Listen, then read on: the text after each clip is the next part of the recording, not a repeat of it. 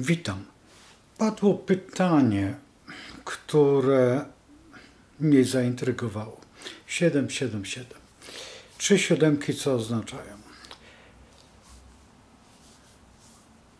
Opowiem, co znaczą w astrologii, co oznacza w ogóle liczba 7 i jak ja podchodzę do tego. I też nie znam się na numerologii, na, tym, e, na ten temat powinien odpowiedzieć numerolog, co to jest siódemka i jak wygląda siódemka, znaczy te trzy siódemki. Wiem o tym, że w judaizmie cyfra jest i litera to jest to samo. E, teraz, jeżeli patrzymy na trzy siódemki, że to oznacza anioła, któregoś. Mamy trzy szóstki lub trzy dziewiątki i też oznaczają anioła, tylko tego upadłego.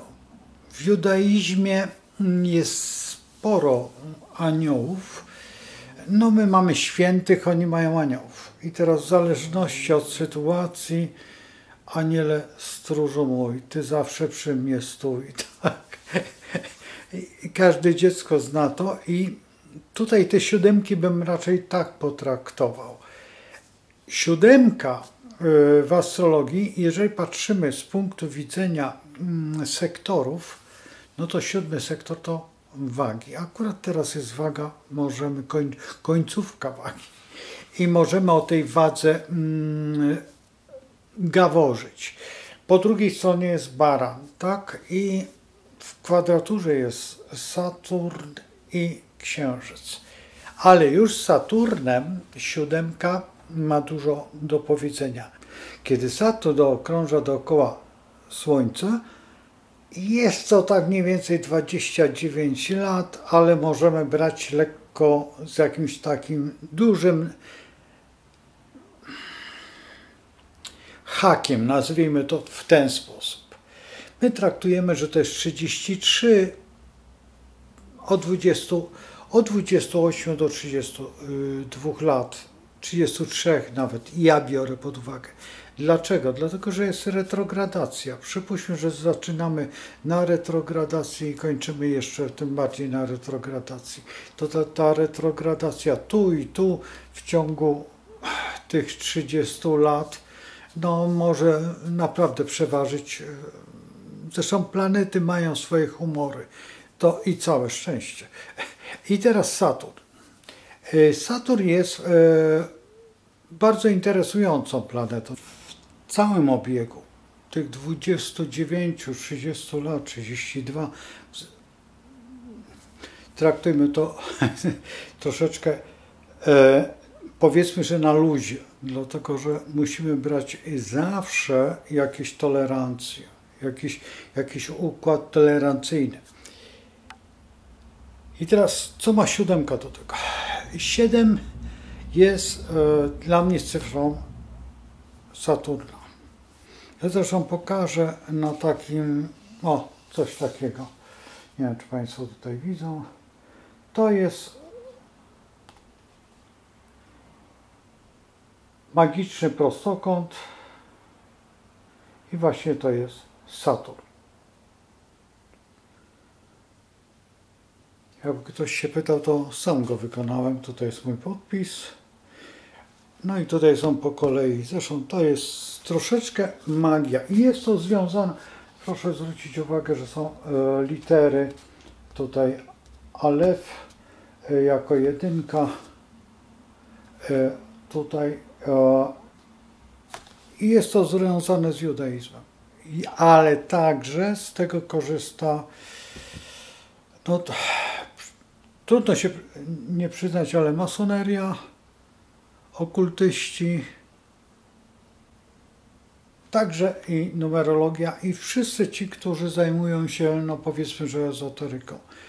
E, I jest to ja ze względu na to, że uczę, a Saturn jest nauczycielem, Wspomagam się takimi symbolami ze względu na to, że czasami no, potrzebne jest to nauczycielowi. Coś więcej, coś więcej i po prostu zorientować się w wielu rzeczach. To zresztą nauczyciel musi.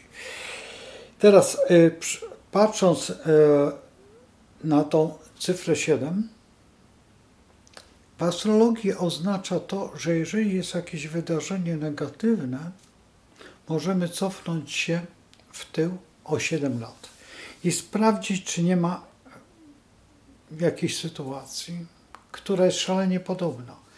Czasami te podobieństwa są lekko skrajne, dla astrologa nie, ale dla osoby tak. Ciężko jest sobie przypomnieć, ale proszę sobie rozpisać zawsze, który rok, na przykład 2007, no i mamy 2000 rok. Tak, teraz do przodu mamy 2014 i też możemy spodziewać się, jeżeli, dlaczego dałem tą dawną liczbę? Dlatego, że możemy, jeżeli się spo, mamy spodziewać, to dobrze jest, jeżeli był jakiś kataklizm w rodzinie, jakaś sytuacja dziwna. Na przykład założeniu to, co jest najbardziej popularne, no tak zwany pan komornik. I e, jeżeli on się znalazł, to proszę sprawdzić 7 lat wstecz, po co był. Ja dam Państwu przykład. E, pierwszy raz, kiedy podjąłem swoją działalność, mm, zlikwidowałem ją. Ponieważ wyjechałem na y, sporo lat, no wtedy na sporo, naprawdę na sporo lat wyjechałem, tutaj y, z, dokładnie z Warszawy i po siedmiu latach wróciłem, otworzyłem firmę. Tą firmę prowadziłem gdzieś około trzech lat. Czyli powiedzmy, że połowa Saturna i zawsze jest ten, ten cykl tak zwany firmowy, że w trzecim roku trzeba sprawdzić, czy firmę warto prowadzić, czy też nie. Stwierdziłem, że ta firma e, nie da rady. Nie da rady, nie ma sensu i ją zlikwidowałem.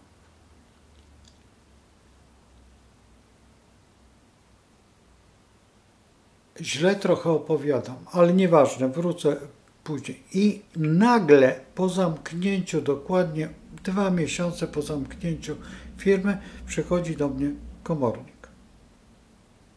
Wiecie po ile? Po 5 złotych. Dlatego, że nie, za, nie dopłaciłem, czy czegoś tam nie zrobiłem w ZUS-ie.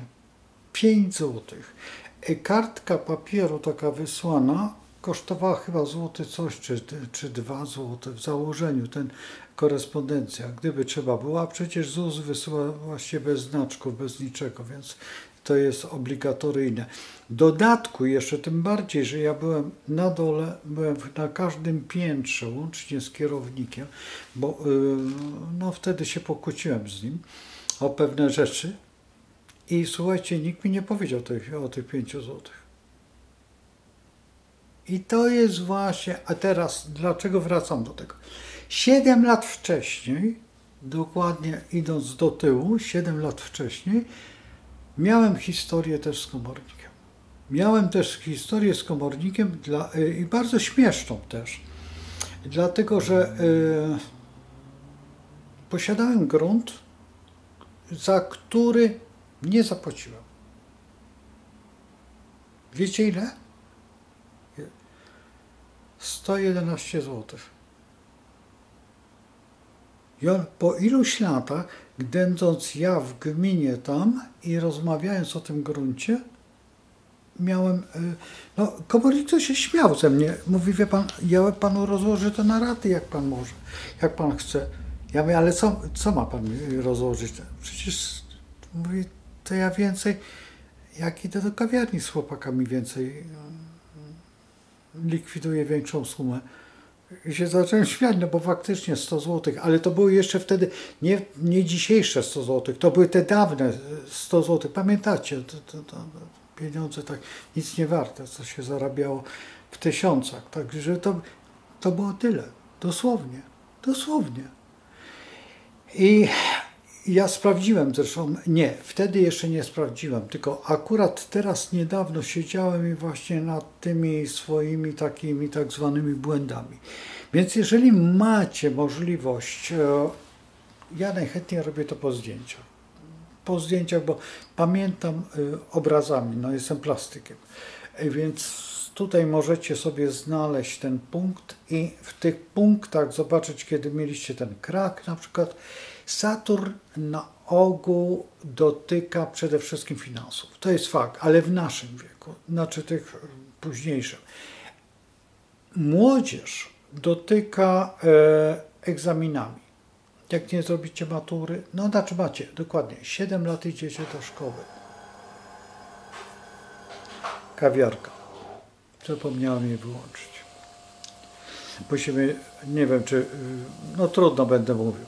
E, następnie mamy następne 7, 14, 14 lat wybór szkoły, tak jak do jakiej idziemy. Potem następne 4, y, 7 lat mamy ile? 21. 21 to już jest taki dla mężczyzny bardzo ważny okres, bo to jest ten okres, kiedy może zająć właściwie już każde stanowisko, łącznie z posłem i senatorem. Może zostać. Tak już, już każdy może zostać. I potem mamy, dokładając 7, 21 mamy 28 lat. 28 lat to jest ten moment dosyć bardzo, następnie istotny. Już jestem kimś.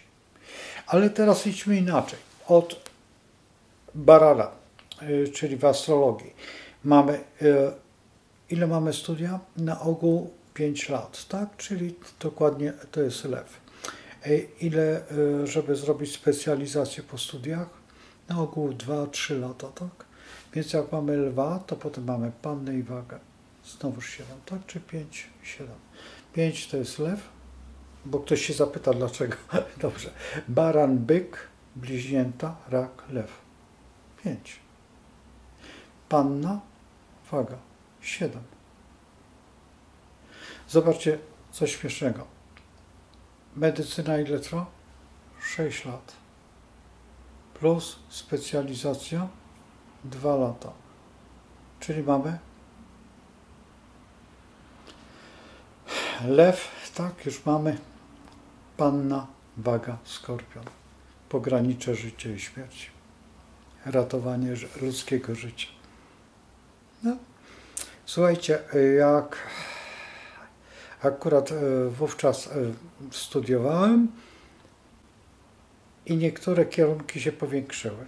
Na przykład byliśmy bardzo zdziwieni, że nasi koledzy dostali e, o rok dłużej. E, dokładnie na teologii. Na teologii zostali rok dłużej. Teraz teologia trwa 6 lat. Plus jeszcze jakaś specjalizacja. E, na teologii jest troszeczkę inaczej, bo tam jest specjalizacja i doktorat na przykład w założeniu. No to trwa do dziewiątego, czyli do Jowisza. Czyli ma, mamy 6 lat, czyli panna. Potem mamy raz, dwa, trzy, cztery. Yy, przepraszam, raz. Yy, ojejku. Panna, waga,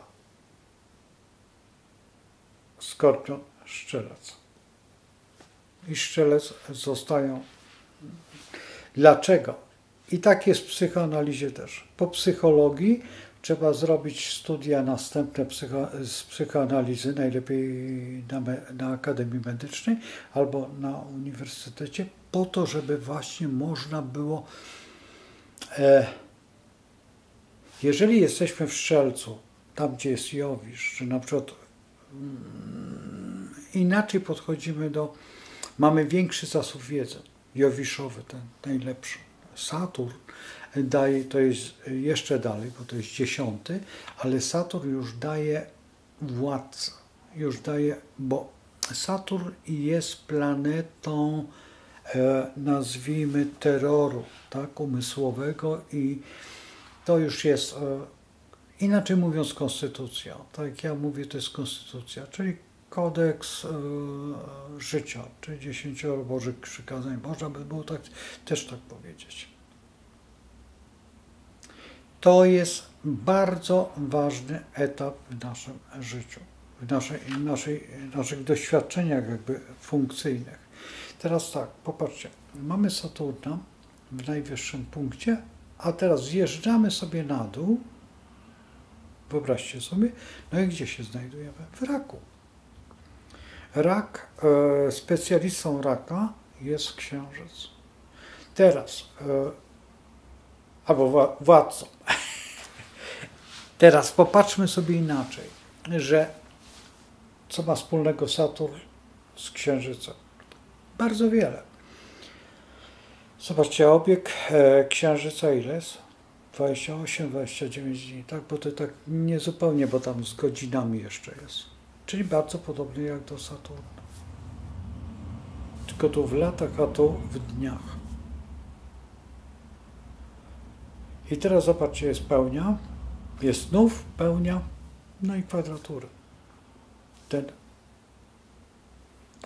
odchodzący od nowiu i dochodzący do zamykający, tak, tak zwany księżyc.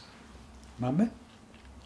Jeszcze, żeby było bardziej ekskluzywnie, to progresywny księżyc idealnie idzie tak jak Saturn.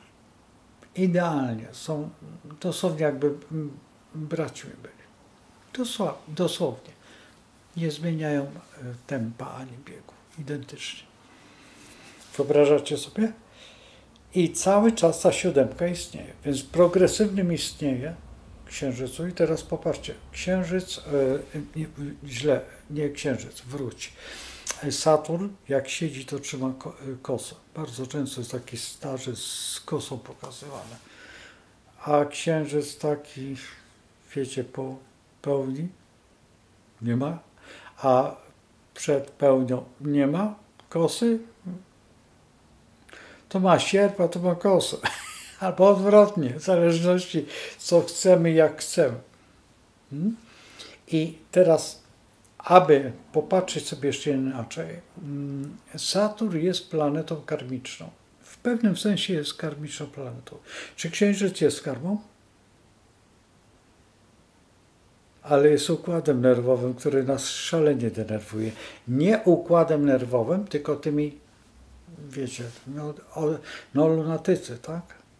Te wszystkie dziwne rzeczy, Zobaczcie, jakbyśmy, e,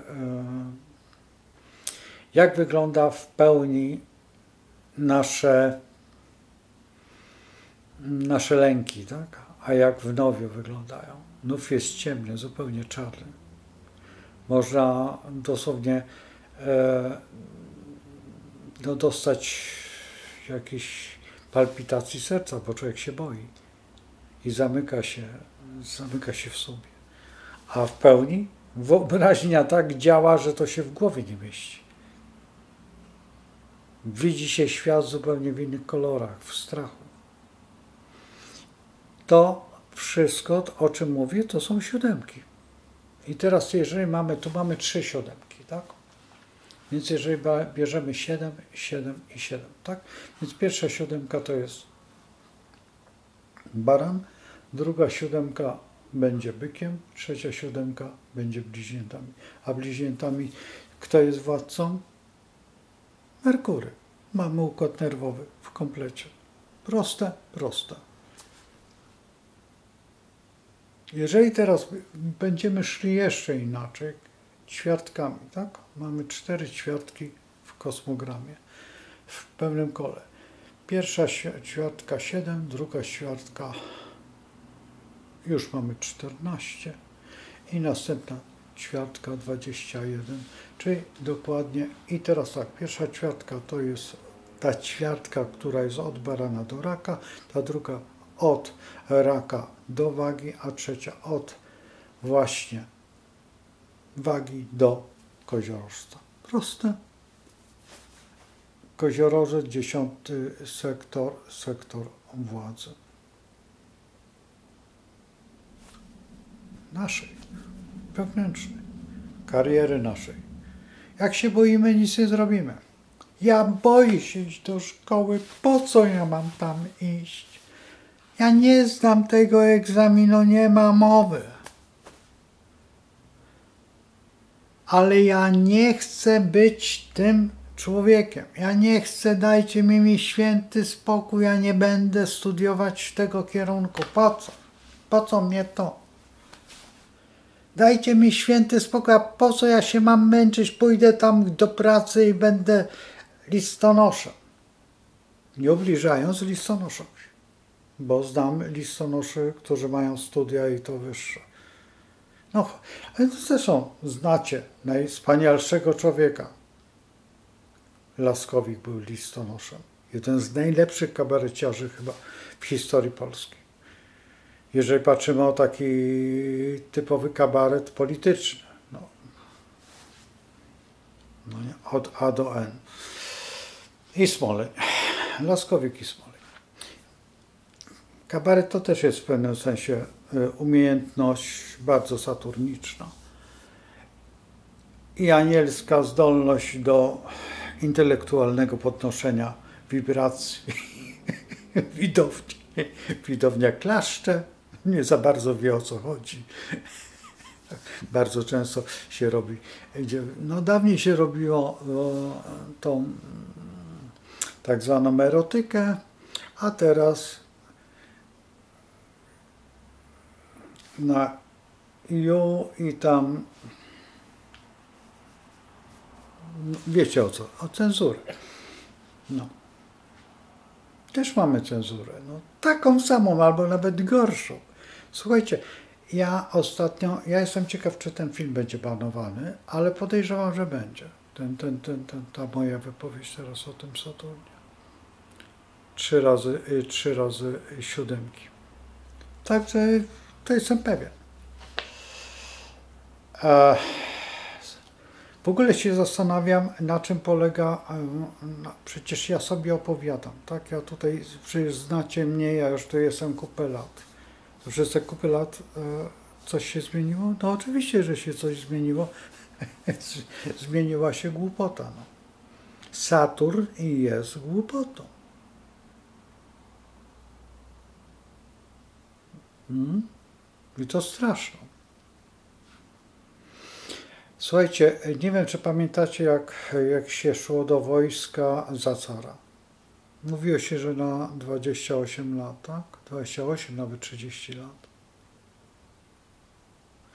I w tej chwili też właściwie jak się idzie do wojska zawodowego, tak mniej więcej się tyle jest. Jeżeli chce, chce się dojść do jakiegoś stopnia generalskiego czy jakiegoś, zwróćcie uwagę, że to są starsze osoby już w tym stopniu. Fakt faktem doświadczenia, wiele rzeczy. Mamy siódemki, mamy już to rozwiązane. Czy jeszcze jest więcej sposobów? Oczywiście, że jest więcej sposobów. W astrologii jest, astrologia jest nieskończona, naprawdę. Jeżeli patrzymy, bo możemy to, te siódemki podzielić na pół, czyli 3,5, tak? Mamy ile? 7, 7, 7, czyli 20, tak? I mamy ten wiek Chrystusowy, no, dokładając tę połówkę. E, w astrologii, gdyby była retrogradacja czasami, czasami i no bierze się to pod uwagę. Teraz, jeżeli Saturn w waszym kosmogramie zamyka Saturnem, czy Saturn tranzytujący, wasz Saturn w kosmogramie, kiedy jest i Saturn dochodzi do Saturna, czyli robi ten ileś lat, to wam wreszcie się życie zaczyna nowe. Nowe zupełnie. Teraz, jeżeli wasz Saturn jest tutaj i wy urodziliście się gdzieś w tym miejscu z Saturnem, tak? I Saturn musi obiec ascendat. Więc dopóki nie obejdzie, to macie kłopoty. Saturn musi dojść do, do tego układu. Wiem, że to są bardzo trudne. To są rozważania tylko i wyłącznie dla astrologów. Ale tutaj musi być kompendium wiedzy. Nie może być tak, że nie. Zwróćcie uwagę na progresywnego Saturna, kiedy jest w retrogradacji, kiedy wychodzi z retrogradacji, kiedy otwierają się zupełnie nowe przestrzenie umysłowe. Jak ciężko się walczy z Saturnem. Naprawdę jest ciężko walczyć, jeżeli młody człowiek ma jakoś tego Saturna tak źle ustawionego. Naprawdę.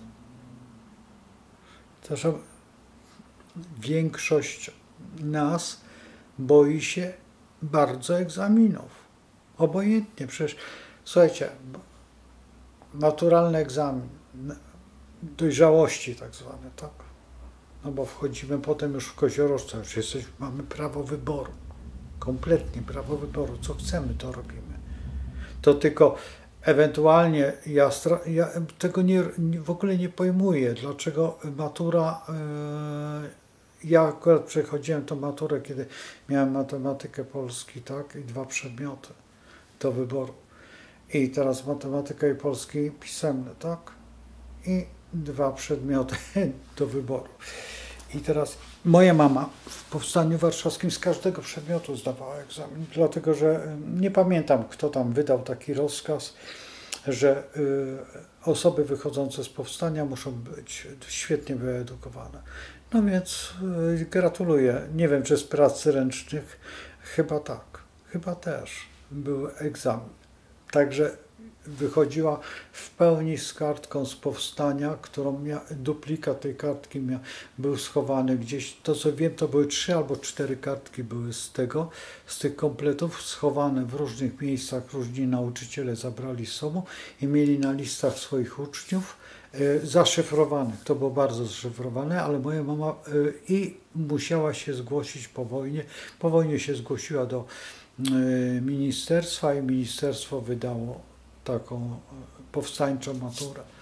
I no, nie do osiągnięcia, bo to jest obecnie na maturę trzeba było oddać, zresztą wiecie jak jest. Jest na Akademii Medycznej, to co się orientuje.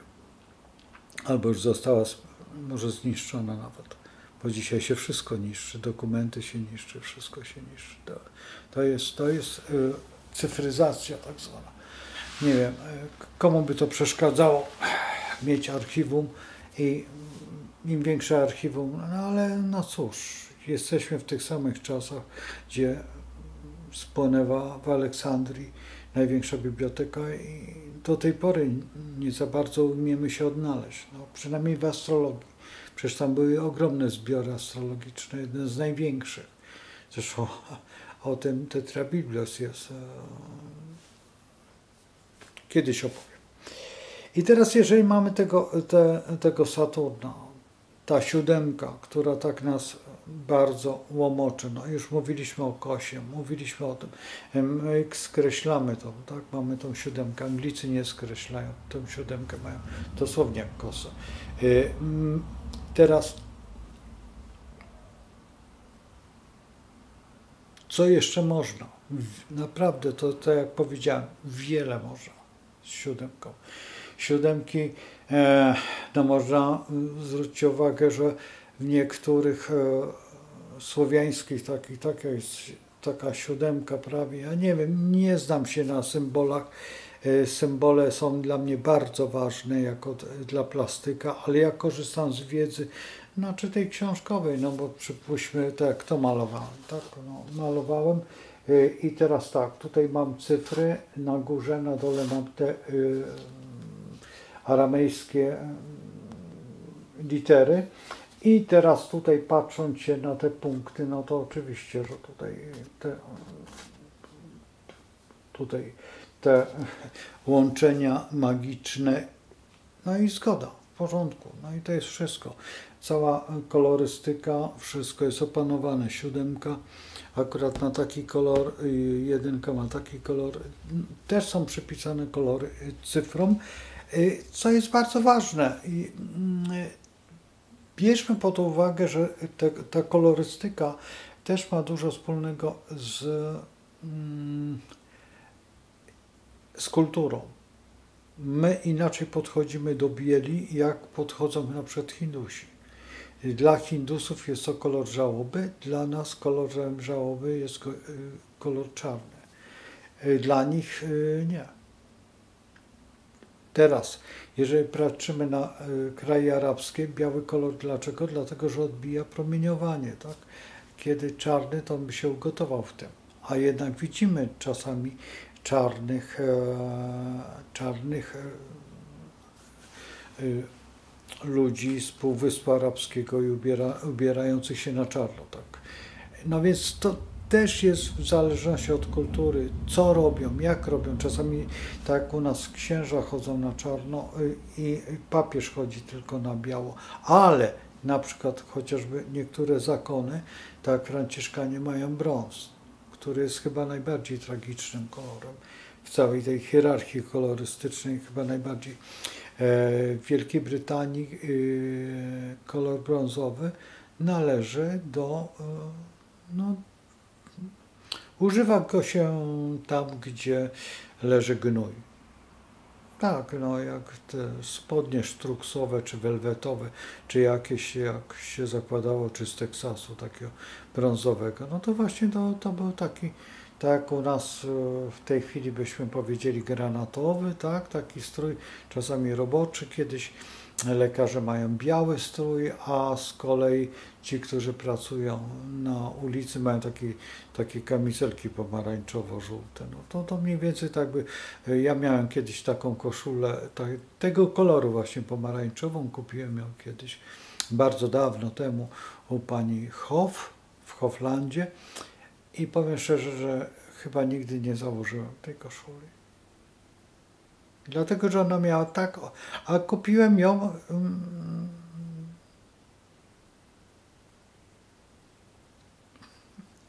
kupiłem. No i na tej zasadzie. Także tutaj chyba nie wiem, czy jeszcze więcej coś mogę powiedzieć. tak jak powiedziałem, te, te 6 szóstek i 6 dziewiątek, no to wiemy o co chodzi. Mniej więcej, tak? Że tutaj to są aniołowie też wiedzy. Pamiętajmy, że, że, że to są cyfry i każda z tych cyfr coś oznacza. Ja nie umiem jeszcze odpowiedzieć. Wiem, to jest, yy, znaczy inna opowieść na przykład. Na razie wiem, że jedynka to jest Alef i Alef to jest ten początek, ten, takie działania, ale też nie za dużo. To nie jest tak, że możemy, mogę o tym mówić bez końca. W astrologii, pamiętajcie o tym, że astrologia jest wiedzą, y, która dotyka każdej dziedziny. W każdej dziedzinie można znaleźć astrologię. Taka jest, taka jest prawda. Ale jest jedna rzecz najważniejsza w tym wszystkim, że trzeba wiedzieć, jak z tej astrologii korzystać. Więc no, właśnie po to masoni, po to ci wszyscy, którzy zajmują się tymi prostokątami magicznymi i potrafią na tym działać, bo na tym się działa, tak? To jest mniej więcej takie myślenie y, szachowe albo brydżowe, na przykład w założeniu, czy też tarot, chociażby tarot. Ja nie wiem, czy wisielec jest siódemką, bo y, Saturn jest siódemką, a nie, nie jestem pewien. Jeżeli tak, to tak, no to macie wisielca. Czyli przetrzymanie całej historii, tak? Zatrzymanie oddechu, żeby przetrzymać kryzys. Nie głupi pomysł. I, no i właśnie to są takie, że y, jak y, jesteśmy w gronie, ja jestem tu sam, ale przychodzą na myśl takie sytuacje. I to jest bardzo ważne. Właśnie w astrologii jest te, te skojarzenia, te wszystkie punkty, jak to, jak to zwerbować, jak to wszystko połączyć, jak to wszystko zrealizować. To jest najważniejsze. Astrologia na tym polega. Także tutaj za każdym razem tu ma, y, mówię, że astrologia jest wiedzą. Nie wiadomo, kto ją przyniósł. Nie wiadomo, kto ją e, zrealizował. Bo dzisiaj się mówi, że odkrywamy tą astrologię. Nic nie odkrywamy. Te siódemki właśnie pokazały. Tutaj ta osoba, która wymieniła te siódemki. To jest już wkraczamy w religię. I astrologia jest częścią religii. Wszystko jest częścią religii. Nawet to, że oddychamy dzięki Stwórcy oddychamy. Ktoś nas powołał. Jeżeli ktoś zaprzecza temu, to niech sobie e, pomyśli nad jedną rzeczą. Owieczka doli była, stworzyliśmy ją. No i co ona żyje? Czy stworzyliśmy jakikolwiek organizm, który żyje? Czy zabawa z organizmem jakimkolwiek skończyła się dobrze? Przecież ten eksperyment, który był dokładnie teraz niedawno, on się bardzo źle skończył. Jeszcze on się będzie mścił przez, no, dopóki ta ostatnia osoba. I dzisiaj patrząc się na to, patrząc się na te wszystkie eksperymenty, które robimy, to co robimy e, w, w obojętnej dziedzinie, jeżeli jesteśmy pokornymi dziećmi tej wiedzy, właśnie takiej, tej saturnicznej, czy tej jowiszowej, ale ta saturnicza jest i ważniejsza, to nie popełniamy błędów. A jeżeli robimy je, to robimy to w takim razie to jest zabawa dla niegrzeczy. Bardzo niegrzeczne dzieci to robią. Pamiętaj, pamiętać trzeba, że astrologia źle skończyła w raju. Zostali astrolodzy wyrzuceni. Dopiero pokazali się przy narodzeniu Chrystusa. Czy zostali zrehabilitowani? Nie zupełnie. Chrystus na ten temat się nie wypowiedział. To nieprawda, że się wypowiedział. Tylko wiadomo o tym, że ktoś dotknął jego płaszcza i powiedział do jednego z apostołów: Moc ze mnie zeszła.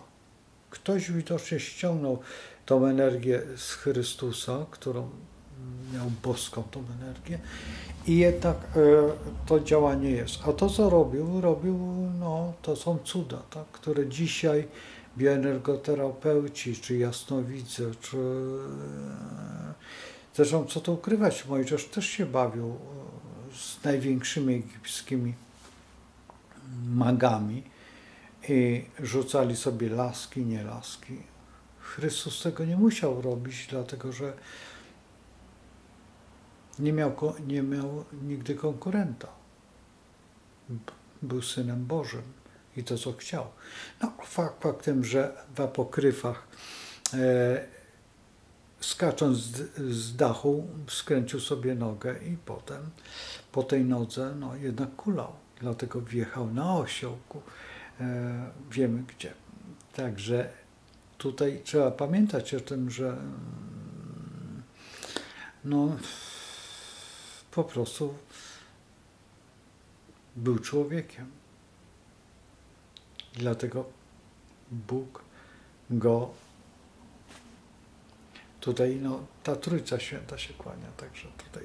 I teraz mamy to, z tej siódemki moglibyśmy wiele, wiele wyłonić, ale tutaj naprawdę bym musiał ten, no po pierwsze, ja nie znam wszystkich możliwości tej siódemki, ale ciekaw jestem, co matematycy, co fizycy na ten temat, jak zachowuje się metafizyka chociażby, czyli to, co oznacza w tych dziedzinach różnych numerologii między innymi, także filologii, jak często się pojawia siódemka, czy powstały jakieś otwory, gdzie jest siódemka, co oznacza w medycynie mm, siódemka, tak? Teraz patrzymy, dla rolnika no to jest kosa, e, czy sierp. Teraz jak to wygląda jeszcze w innych układach, tak żebyśmy mogli, no i dzisiaj mamy e, w religii też e, no, ten księżyc, I tym bym wolał zakończyć, bo naprawdę wszystko w rękach Boga, żeby nie stało się to, co jest najgorsze. Ale nie myślmy o tym, radujmy się i chwalmy i prośmy o to, żeby był spokój.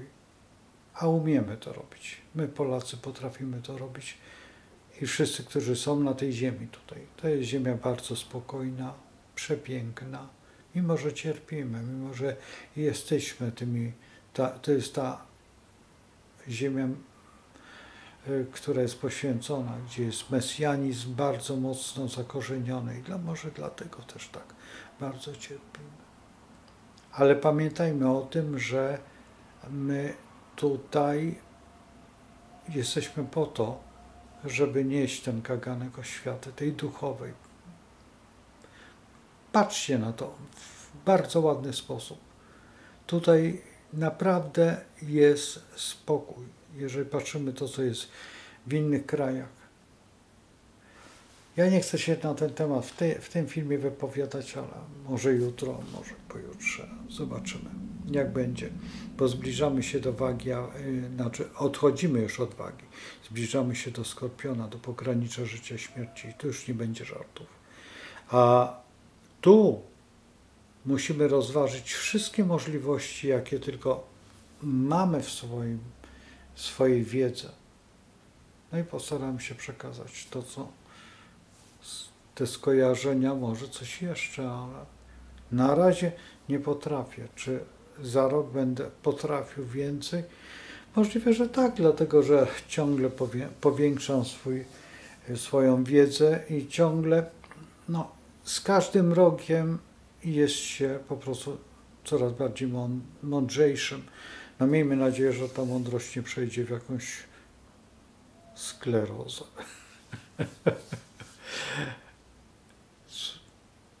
Dzięki za wysłuchanie. Bardzo proszę o łapki, bardzo proszę o jakieś tekściki, o jakieś działania, dlatego że no, ten YouTube coś tam rozrabia nie tak jak potrzeba. Także tutaj, jeżeli promocję tego, nie chodzi, nie, nie, chodzi tylko o ten film, ale o te wszystkie. Bardzo dziękuję tym wiernym, którzy y, robią te łapeczki, to wszystko, bo to, to, to jest dla mnie naprawdę ogromny plus.